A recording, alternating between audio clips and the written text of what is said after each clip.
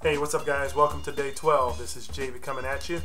Uh, just wanted to let you guys know that uh, I am currently on rest and sabbatical because of the situation with my knee. I don't know if you guys remember the video from day 11, but I have what's called a Baker's cyst, and it, you know, it's it's causing some pressure on some nerves in my knee, uh, behind my knee. So I'm having to just take a few days off.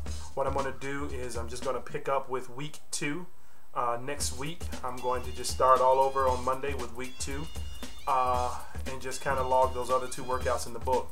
You know, again, the message here is you got to let your body rest. You know, when your body says, I'm tired, I need to stop, you got to listen to yourself. Um, one of the things that's keeping me motivated right now is the fact that my diet is on point and I was way ahead of schedule uh, to start with because um, I was ahead of my weight loss goal and my activity goal by about two or three weeks already. So to lose a few days because of needing to rest is not a big issue for me. So for you guys that are out there right now, uh, whatever workout day you're on, I need you guys to listen to your body. If your body says stop and rest, stop and rest. But because, you know, the last thing you need is to suffer a major injury because you didn't listen to your body. So that's where I am right now. Uh, the diet is still on point. I'm still doing a lot of upper body workout. I did some upper body yesterday, and did a little bit this morning. So um, yeah, things are working out real well. You can always keep moving no matter what and just keep pressing play. Don't ever, ever let anything stop you. Don't come up with any excuses. Don't let anything tell you that you can't do it. Just keep going no matter what you do. If your body says stop, that's the only thing that you should let stop you is your body, okay?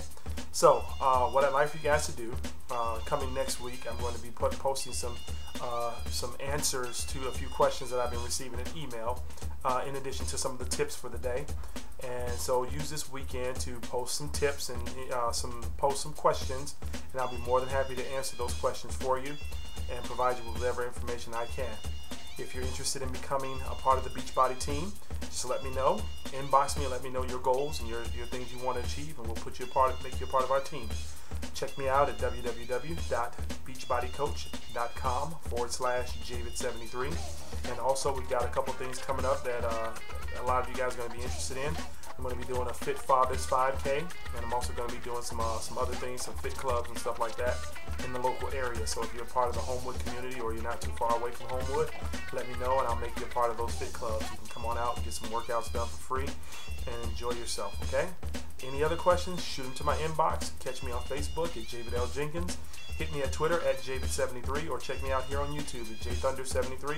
This has been a great week setbacks, but hey, I'm still doing good. Take care, guys. I will talk with you later. Oh, I want to show you something real funny. I did this, uh, this little workout the other day. I figured I was going to do some some oblique tire smashes. That's basically where you take something, a stick or whatever, and you start smashing a, a, a tire, just hammering it, and it works your obliques. So I started doing that, and some funny thing, something real funny happened. So that's it for today. I'll talk with you guys later. Check out this video at the end, and you'll get a good laugh. Chat with you.